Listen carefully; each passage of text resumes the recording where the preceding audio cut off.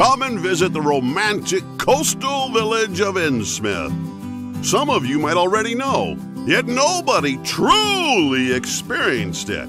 This is Innsmouth, but probably not the Innsmouth you heard about. Visit the historic old town where unique architecture meets modern infrastructure. Stroll along the picturesque harbor and meet the authentic and likable local folk. oh, and Hank!